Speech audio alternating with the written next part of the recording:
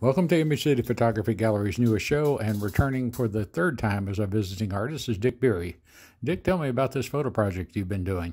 Well, it's uh, a, a little bit different. I decided this time to uh, shoot some new photos. I had been observing the uh, traffic light control boxes around town and how they'd been uh, painted up, and different artists had done different things. I'd seen those in my walks.